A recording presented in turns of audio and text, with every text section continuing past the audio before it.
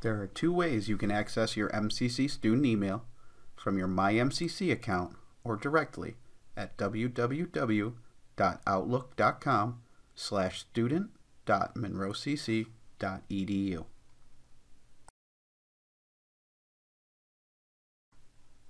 By default, emails will be delivered to your inbox.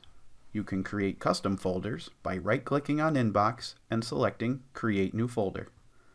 Type in a name for the folder, then drag and drop emails you want into that folder.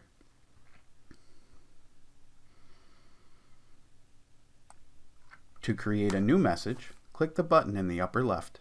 If you are not sure of someone's MCC email, click the To button, select Default Global Address List, and start typing the name of the recipient.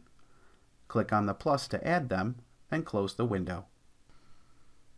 Now you can type in your message.